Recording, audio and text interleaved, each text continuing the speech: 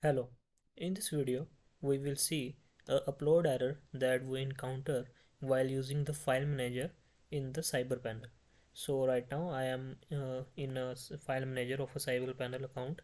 So if I try to upload a particular file then uh, there will be an error like this like cannot be uploaded.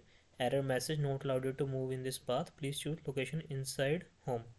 So let me show you once again if I choose a file suppose this is the file I'm going to upload. So this this its name is app bracket uh, 1.zip okay? So if I try to upload this particular file and click upload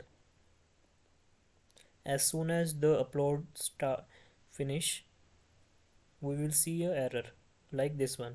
That is cannot be, cannot be uploaded. So how we can uh, resolve this issue?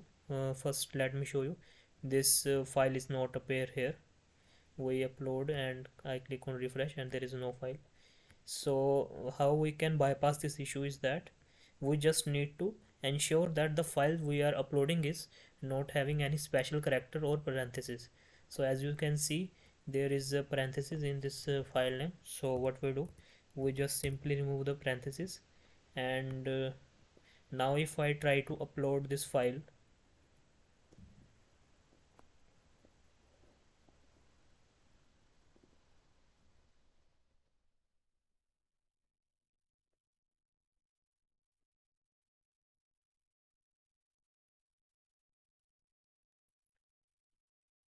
as you can see it's uploaded successfully and not throwing any error. So let me close this window upload window. And as you can see the file is appear here. So as you can see this is how we can solve this particular upload issue in cyberpanel so there is many other way also that we can solve this issue but this is the one uh, way we can solve it. So if you are having any question just let me know in the comment. I will be happy to help you out. Thank you